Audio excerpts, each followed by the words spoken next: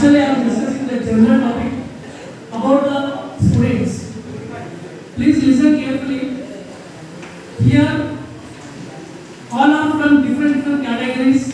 Some students are rich kids, some students are average, some are low. In case of financial